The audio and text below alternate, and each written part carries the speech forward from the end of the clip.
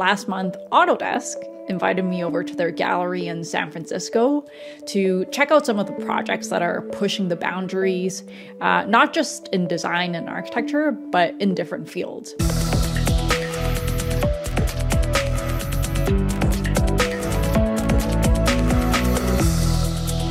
A project that I thought would really revolutionize the construction process is from a company called Scaled Robotics, which is based in Barcelona, Spain. So, one of the biggest surprises for me when I started working in architecture and started going to construction sites was the sheer amount of reliance on manual systems and processes uh, to make very complex buildings. There's quite a lot of processes in architecture that is like this, but this especially feels like a very old way of doing site reviews. And I feel like as buildings get more and more complex, it's going to get harder and it's going to get more time consuming and probably more dangerous for architects to go and manually do site reviews. So, this machine from Scaled Robotics drives around a construction site and it scans everything.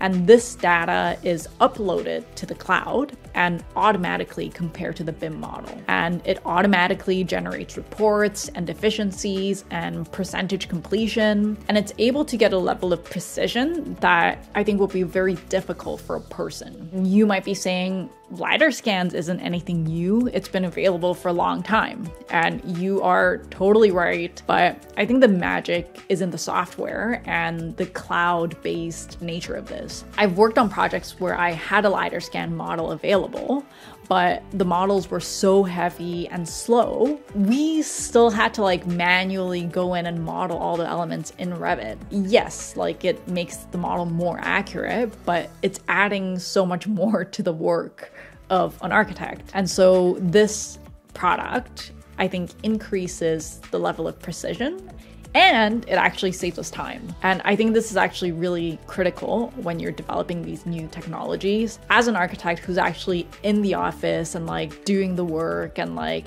drawing the building, I'm sometimes weary of new products because when a new technology comes in, it increases the output but it also increases the expectation. And as a worker, you're the one who has to produce the work to meet those new expectations. So something like a LiDAR scanning system that detects the construction deficiencies is great, but if you're still the one who has to log all that and fix all the problems, you know, that's on you and it's adding more to your workflow.